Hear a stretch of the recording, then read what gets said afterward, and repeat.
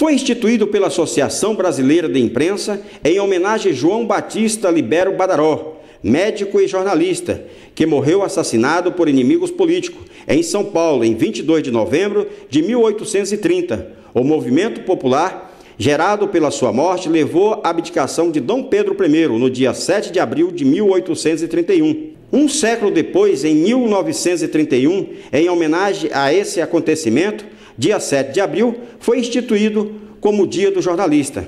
São eles que levam as informações até você, sempre com muita responsabilidade, seja com palavras, imagem ou som. O jornalismo, eu não sou um jornalista, mas é, tudo que, que, eu, que eu procuro é levar a informação para os nossos ouvintes, tanto aqui no programa que eu faço, como também ah, as participações, as reportagens que a gente faz durante a programação da rádio.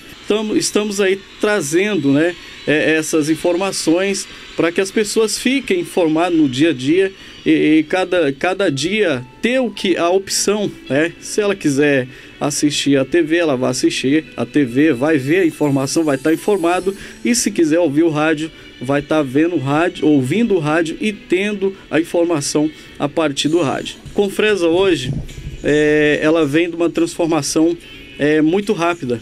Eu, eu digo que é muito rápido até, é, até mesmo por, por causa desse meio de comunicação. Antes, Hilário, para você ter uma ideia, para nós para que a gente tivesse informações aqui era muito difícil, né? Não tinha praticamente não tinha internet, não tinha aí televisão, não tinha rádio e realmente era meio complicado. Hoje as coisas é, é, chegam facilmente aos lares da, da, da população confresense. Ser jornalista é ser um profissional da informação. A sua função é coletar as informações que seja de interesse público e divulgá-las para a sociedade. Entre a especialidade da profissão, um jornalista pode ser arquivista pesquisador, assessor de imprensa, diretor de redação, editor, produtor de texto, repórter de televisão ou rádio, repórter fotográfico ou revisor.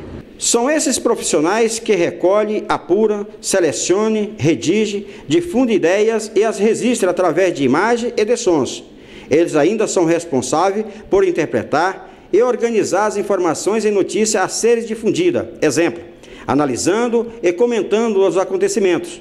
A divulgação dessas informações pode ser feita através de jornais, revista, televisão, rádio, internet, assessoria de imprensa e quaisquer outro meio de comunicação com o público. O trabalho de todo profissional de informação deve ser orientado no sentido de garantir o direito da informação qualificada, ética, democrática e cidadã para toda a população. Que a gente tenta passar o máximo possível a informação, o entretenimento, a música e dizer que mudou muita coisa.